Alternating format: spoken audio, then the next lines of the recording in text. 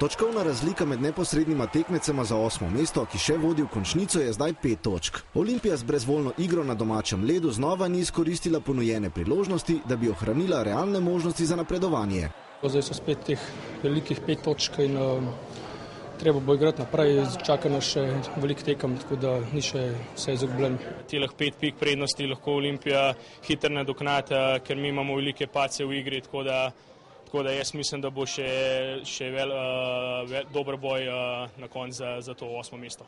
Zmaji so na tekmi sezone pogoreli na celi črti. Razlogov za pomankanje motivacije je veliko, eden izmed njih je tudi izostanek izplačila plač igralcem. We know how it is here, it's, it's usually late and we know that. So, uh, you know, we expect we expect what we expect and uh, but everything as of right now has been okay. So, uh, you know, like I said, it's our job to go on the ice and uh, win a game. So dolgovi, ampak uh, to ni razlog, no, da bi pa zdaj v bistvu iskali ene izgovore, um, da smo zaradi tega danes zgubili. Um, to smo probali dati na stran, uh, odigrati tekmo po najboljših močeh in tudi zmagati, ker vemo, da sam z zmagami bojo tudi prišli sponzorji. Olimpija je do zdaj vknjižila le 13 zmag in 22 porazov, 18 tekem pred koncem rednega dela, pa je to preslab izkupiček, da bi bili lahko z letošnjo sezono zadovoljni.